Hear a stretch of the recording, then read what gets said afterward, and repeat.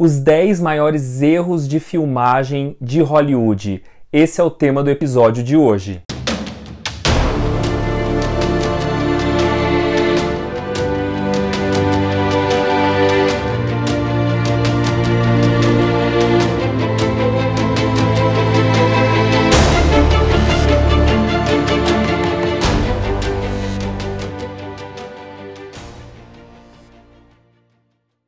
Erros de filmagem, erros de gravação acontecem o tempo inteiro. Aqui, enquanto eu estou falando com vocês, já aconteceram vários. É que eu edito e não aparece.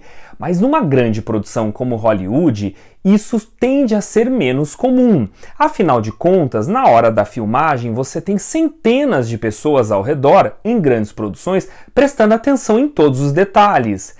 Mas nem por isso as grandes produções, aquelas que ganharam muitos prêmios ou que foram vistas por milhões de pessoas, passaram ilesas. Então vamos ver os 10 erros inesquecíveis do cinema. O primeiro erro que eu vou falar para contar para vocês é no filme Gladiador. No filme aparece um cilindro de gás na carruagem tombada durante a cena de batalha de Cartago no Coliseu. Há ainda no Gladiador cenas na versão que foi para o cinema em que uma parte da equipe aparece aparece, além de vários erros de continuidade. O que, é continuidade?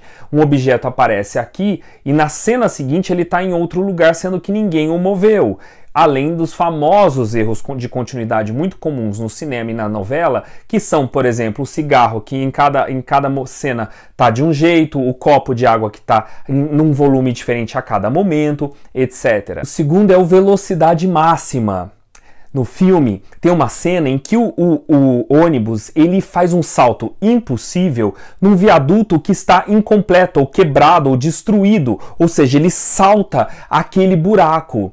O problema é que a produção se esqueceu de tirar a sombra do viaduto, que você consegue ver claramente uma sombra contínua embaixo. Um problema. O terceiro é o Bambi. Na versão existente em VHS, um guaxinim desaparece e reaparece misteriosamente no canto esquerdo da tela. Na versão em DVD, esse erro foi corrigido. Isso é muito comum, é compreensível de acontecer nas animações mais antigas. E você acha que os grandes mestres também não erram? Aqui agora a gente vai falar de um erro do Alfred Hitchcock, no filme Intriga Internacional. Numa cena, os personagens estão discutindo enquanto a mulher está com um revólver na mão. Repare que o garoto que está atrás, ele está de costas e ele tampa o ouvido antes do tiro ser disparado. Ué, ele previu o futuro? Outro mestre, o Quentin Tarantino. Um dos erros famosos é no filme Pulp Fiction. A famosa cena em que os personagens do John Travolta e do Samuel Jackson estão no apartamento onde eles vão executar o garoto e aparecem marcas de tiro atrás deles antes dos tiros terem sido disparados. No Coração Valente tem uma cena em que o William Wallace, que é vivido pelo Mel Gibson, se curva para beijar um o morto.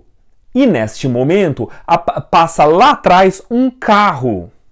Horas, Aí é um problema, porque o filme se passa no século 13 e os carros estavam muito longe de serem inventados. O filme Titanic do James Cameron tem vários erros, mas um dos mais conhecidos é, é aparecer as cordas que estavam puxando os atores na cena em que o navio está inclinado e os passageiros estão caindo. Evidentemente que não é aquilo que não foi filmado daquela forma. As cordas puxavam os, os, os, os, atores e os figurantes. Esqueceram de tirar elas na hora da edição. Outro mestre, Francis Ford Coppola, no filme O Poderoso Chefão, a briga entre o Sony e o seu cunhado ficou um tanto quanto falsa. Se você não perceber com a velocidade normal do frame, Coloque em câmera lenta que você vai notar que nenhum soco do Sony atinge o cunhado, passa muito longe do rosto dele. E aí a gente tem também o Indiana Jones, os caçadores da Arca Perdida. Numa das cenas, o personagem do Harrison Ford está no, na, na Arábia, entre muçulmanos, árabes, todos vestidos a caráter dentro daquela cultura. E eis que lá no fundo você vê um rapaz de jeans e camiseta azul passando tranquilamente. era alguém da equipe que esqueceu de sair da, do campo antes de começarem as filmagens. E para fechar, o Cavaleiro das Trevas tem um, um erro de gravação também. Quando o Coringa explode o hospital, note que existe um operador de câmera dentro daquele ônibus, pegando uma das imagens, uma das cenas, um dos planos para depois editar. O problema é que esqueceram de tirar o operador de câmera na hora da edição. Gostaram? Então, até a próxima!